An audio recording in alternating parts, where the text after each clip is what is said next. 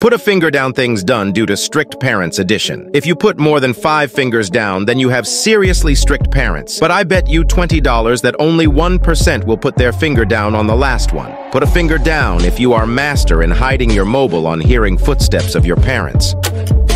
Put a finger down if you're a silent room entry expert to dodge parental watchfulness.